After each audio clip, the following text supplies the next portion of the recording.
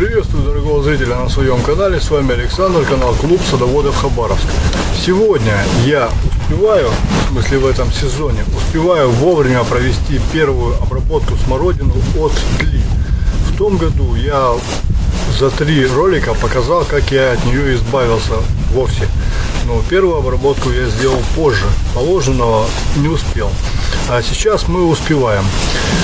Делаем это до перед цветением.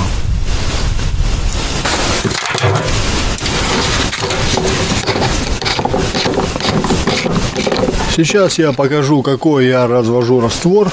А пока буду опрыскивать, скажу,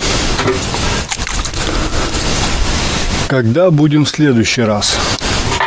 Раза три-четыре.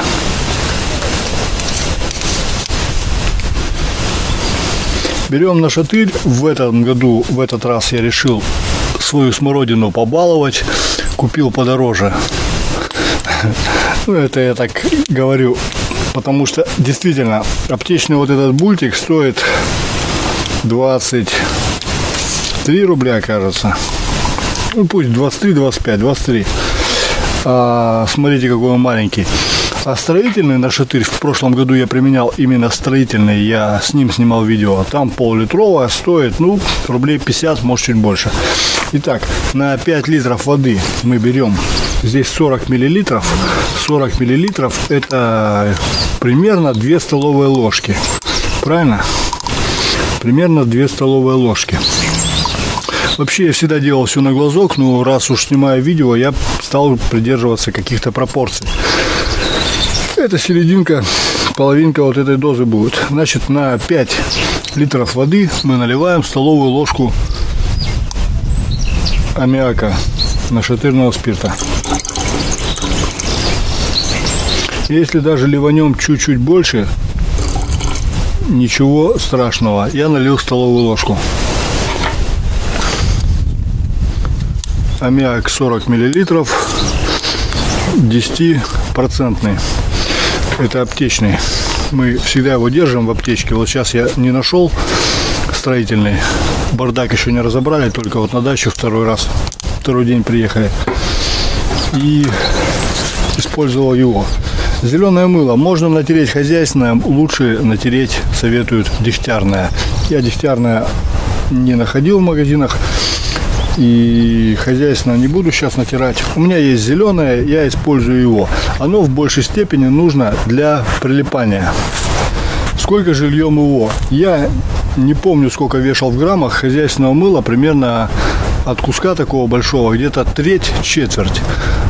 Оно нужно нам для прилипания. Вот эта бутылка, сколько она миллилитров? 0,25 миллилитров ну, мы, значит, нальем треть. Она уже у меня начатая, я дома обрабатывал растения. Нальем треть. Ну, грубо говоря, как стопочка примерно, 50-70 миллилитров.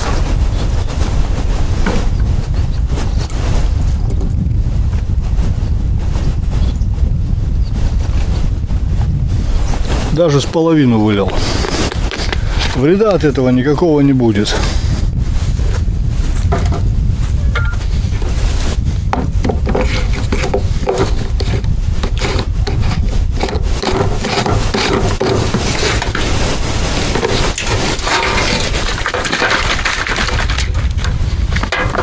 Как следует размешиваем.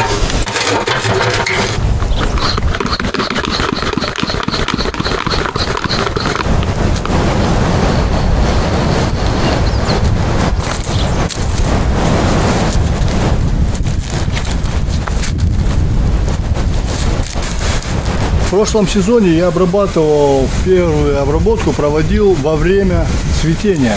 Поэтому я проводил ее только по низу, только по низу и без мыла. Для того, чтобы отпугнуть муравьев. Как известно, что муравьи сами себе выращивают тлю, занося их на верхние листочки растения. И вот таким образом я обрабатываю полностью, обрабатываю полностью все кусты. все ветки вокруг я немного почистил. И желательно землю вокруг еще дополнительно взрыхлить. Это создаст некоторые препятствия муравьям, конечно, не сильно такие для них будут препятствия, ну, во всяком случае, помогает. И таким же образом я обрабатываю розы параллельно вместе со смородиной. Ну, в этот раз я не обрабатываю, потому как листочки только-только появились. Буду обрабатывать тогда розы, когда уже будут веточки. То есть полноценные, ну, еще зелененькие веточки.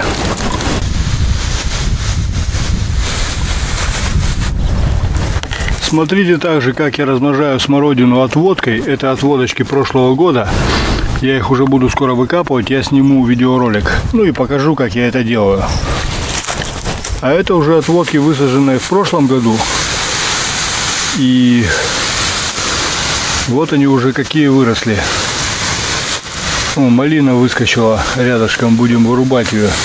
Она у меня тут рядом растет. Я ее хочу за территорию посадить ее не так много, а ухода за ней больше, чем за чем-либо.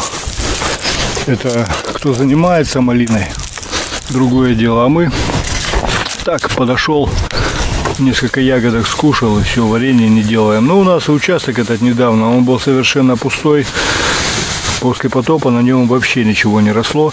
Сейчас у нас здесь 15 кустов где-то винограда, еще новинки докупили, розы другие цветочные ягодные культуры, крыжовник.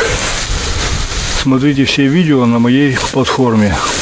Итак, следующую обработку я буду проводить тогда, когда уже завяжется ягода.